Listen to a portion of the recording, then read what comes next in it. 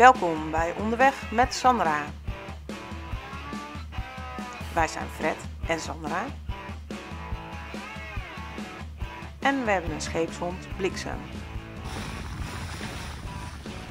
Met onze Bavaria Cruiser 32 varen we ieder weekend rond op het IJsselmeer en Markenmeer. De ene tocht is spectaculair, bij de andere is het puur genieten.